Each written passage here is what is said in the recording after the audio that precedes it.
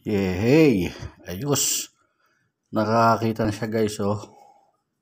Ayan at 8 days from February 13 up to now 21. Papi, welcome to the world of Caviteño sa Philippines. Ayan oh. Cute niya. This is my Michelle. And the other one, magigray mo is Tanya. Cute. Babae siya. Hmm.